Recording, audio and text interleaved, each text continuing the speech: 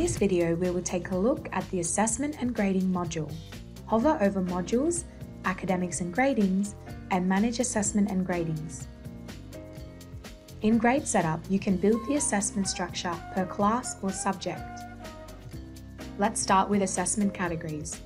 The Assessment Categories section contains a list of all possible assessments for the different classes or sections within a class.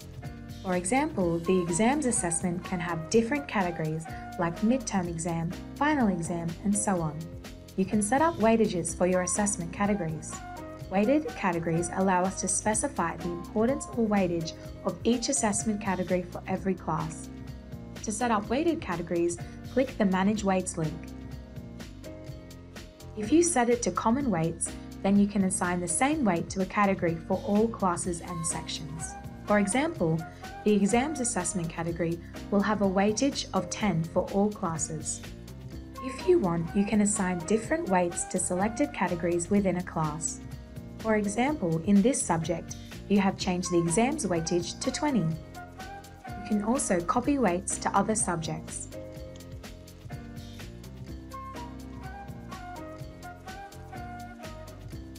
The weights have been copied here. You'll get a message to update the overall score of the subjects affected by the weight changes. Click this link to update the existing data with changes you made to assessments and grading. You can auto update all the records by clicking this link.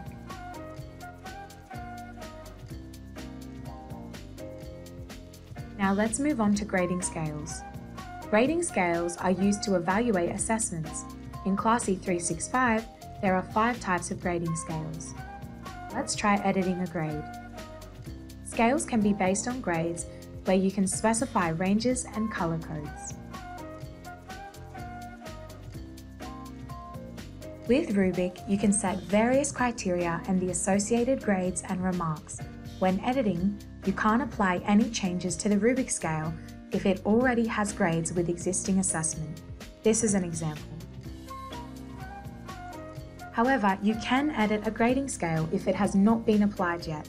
You can delete a grading value or add a new one. You can also edit the criteria and other parameters you can delete an entire criteria. You can't allocate the same number of points to the grading scale values for a given criteria.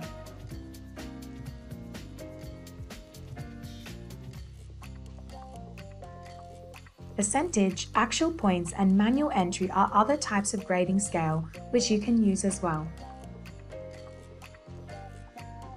You can manage grading periods. A grading period specifies the length of an academic period.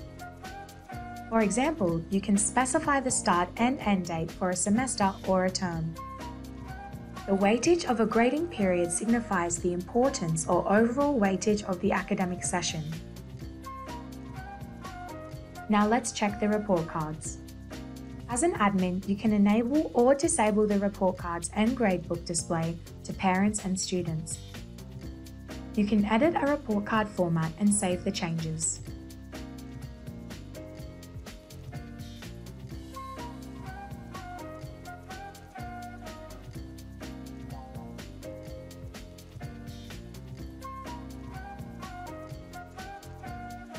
Now on to CCE.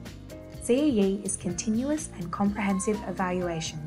This allows you to divide a subject into subcategories for further evaluation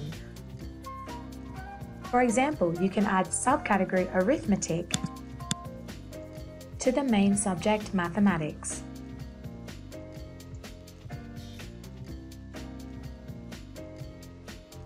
You can edit the name of a subcategory.